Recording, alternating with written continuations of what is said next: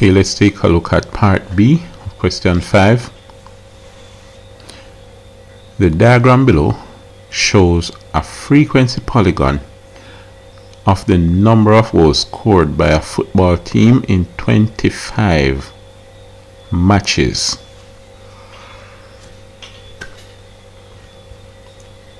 So we have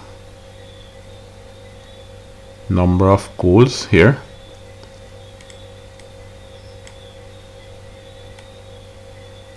and uh, number of matches.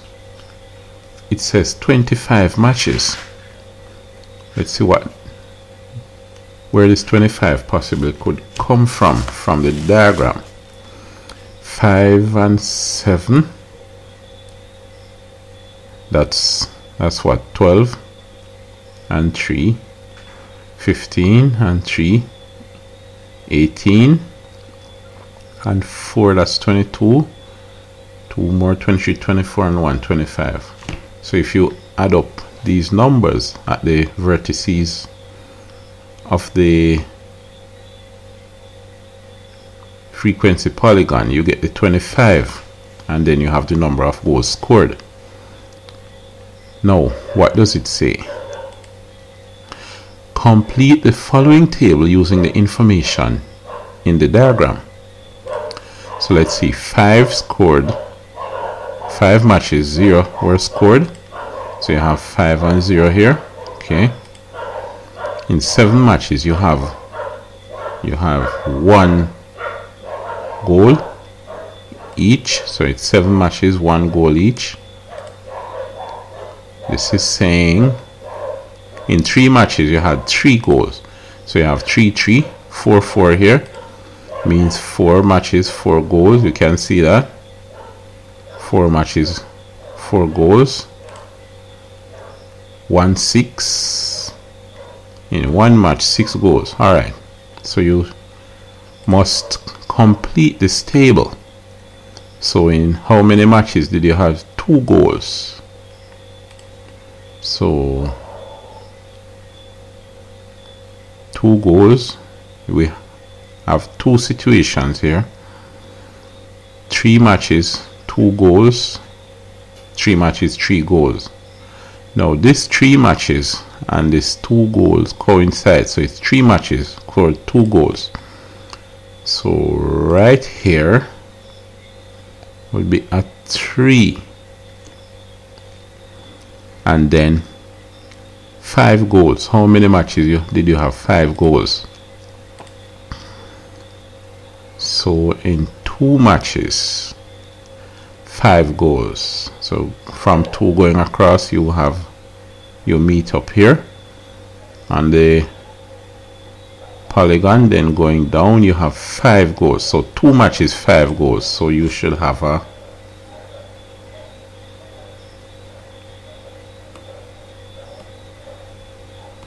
uh, you should have a two right here. Good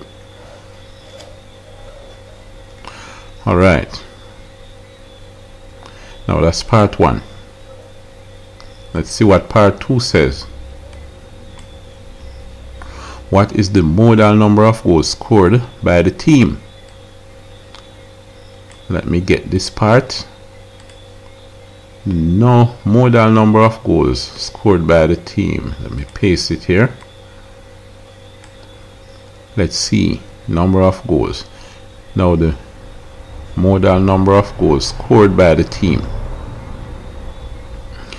Now you're not going to just look at this table directly and get it. Alright? Remember here five matches, no goals. It means that no goals were scored here. 5 by 0 is 0. 7 matches, 1 goal. And by the way the modal number of goals will be it means it, the largest number of goals. So in seven matches one goal. So the total number of goals here is 717 three matches two goals means three two six so you have one match two goals another match two. That's four so far.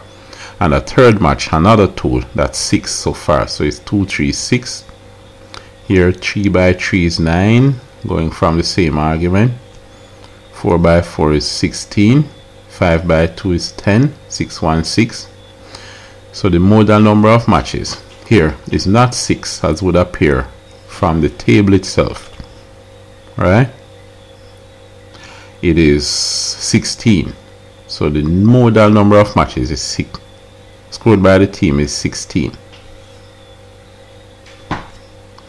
alright now that's part 2 what does part 3 say?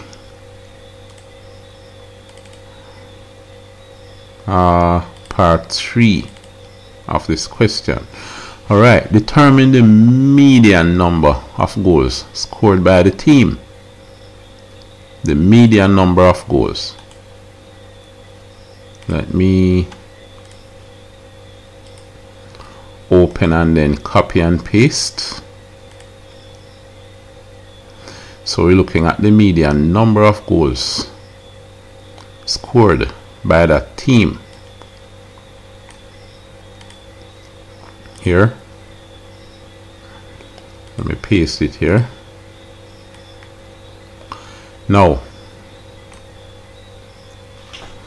remember what the median means? It means the number that falls at the center of the distribution after you've put the values in order whichever value is at the center of the distribution when you put them in order whether ascending or descending order.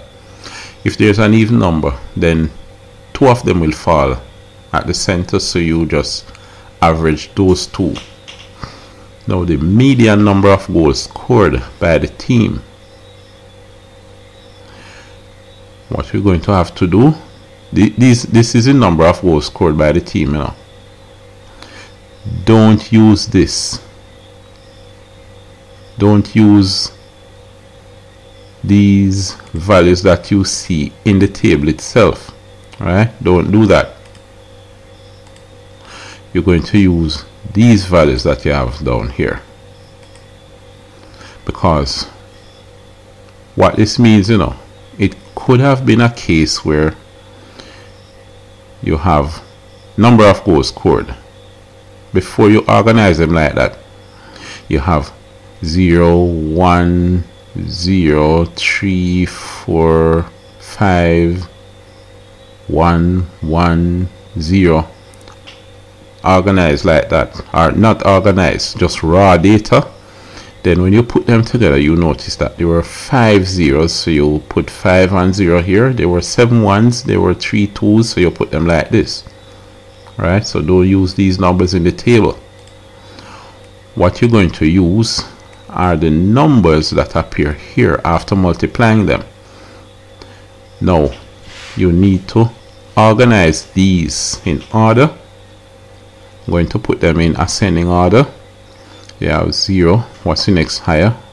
The next highest number at 6 then you have another 6 then 7 no 8 there's a 9 uh, then there's a 10 the next highest number is 16 how many do we have? 1 2 3 4 5 6 7 here. One two three four five six seven. All right. So nothing was left out. Now there are seven. So you have three to the left three to the right and seven in the middle. So the median number of goals is seven. So that that's the median number of goals scored by the team all right now let's continue we are asked to calculate the mean number of goals scored by the team. That's part 4. The mean number of goals scored by the team. Let me paste that somewhere. Alright. Now I don't think we're going to need this. Let's us do some clearing up and make some space.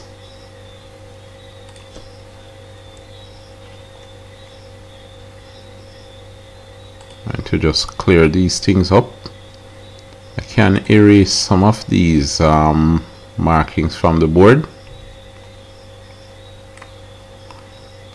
And put this up here alright now the mean number of goals scored by the team. You know that the mean sometimes referred to as bar x is when you add up all the values and divide by the number of values. In this case it would be the frequency times x f x over the number of items frequency. If you look in some books you'll see something like this. Fx over f. That means the number of them multiplied by the value and oh the sum of f. And then after all of that you find out what's the total number the frequency and divide by that. So what you have is the sum of all the values divided by the number of values. Now what is the num first of all the sum of all the values? The f times x was already done when you had said 5 times 0 is 0 5 times 7 times 1 at least partly done already. 7 times 1 is 7 3 times 2 is 6 you're going to need to find out the total number of goals scored. So 5 from 0 matches. That's 0 this would be the sum of I didn't remember the sum of fx over the sum of f right nice. So you're going to have 5 times 0 is 0 so in 5 matches there were no goals. That's 0 plus 7 times 1 is 7 7 matches there was 1 goal so that's a total of 7 there. Plus in 3 matches two goals so six goals were scored there. Six plus three matches. So three goals each. So that's a total of nine goals. Plus four matches. So four goals scored. That's a total of 16 goals. Plus two matches. So five goals. That's 10 plus one match. So six goals scored. That's six then you add them all up all right I'm just going to use a calculator here. Could do it by hand though. So that's 0 plus 7 plus 6 plus 9 plus 16 plus 10 plus 6 and I get 54 alright so there were a total of 54 54 goals scored goals scored. Now that will divi be divided by so this is the total number total number of goals scored. Alright? Now you're looking at an average or a mean which say which really is saying what's the average number of goals per match. So this is total number of goals. What's the average number of goals per match for each match? So you're going to have a total number of matches. Here. The total number of matches. It's 5 plus 7 plus 3 plus 3 plus 4 plus 2 plus 1 alright? Total number of matches played. So in this case 5 and 7 let's look at 7 and 3 is 10 and 5 15 16 17 18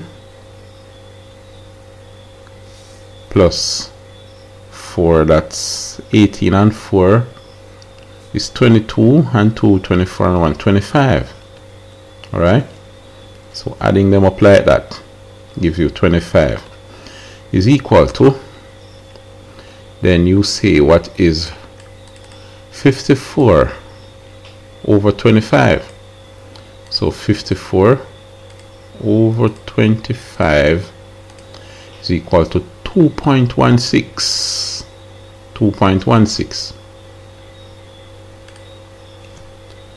so the mean here is 2.16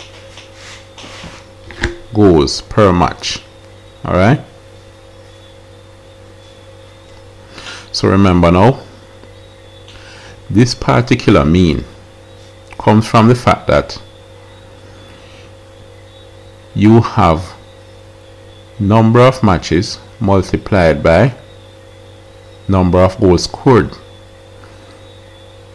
Then add them up to find the total number of goals that were scored. Then divide them by the number of matches. Because in this case it could have been for example seven seven matches one goal scored. Uh, one one one one one one one that's seven. Three matches. Saw two goals scored. That's two, two, two. Three matches three goals scored. And so on. The total number of goals scored be 1 plus 1 plus 1 plus 1 plus 1 plus 1 plus 1 that's 7 8 9 10 11 12 13 14 15 16 17 18 19 20 21 22 and adding them up. Totaling up everything if you have the time would give you would give you 54 so that's 54 all right divided by how many matches were played one match two match three match four match five match six match seven match matches. 8 9 10 11 12 13 and so on. So you add up the total here to find the number of matches. So you get 25 so if you did not have this table organized and you had just raw data that would that's what you'd have to go through so you can match what you have here in the raw data. A lot more work though to what was done here. So it's important that you understand the principle behind what's happening here and this particular formula to what would have happened in the raw data all right? So in this case total the, the average is 2.16 I wanted to understand um, the principle behind what is done here particularly if you are studying are, are going to study to be a mathematics or a science teacher or you're going to study something in the STEM field, science, technology, engineering, and mathematics, where you would need a higher level of understanding of mathematics than most people would need. All right, so it's important that you understand why you do what you do instead of just um, doing something to pass the exam you should have a depth of understanding behind the mathematics so if you didn't get this properly first time go through it again and do it again. Do, do the entire question again on your own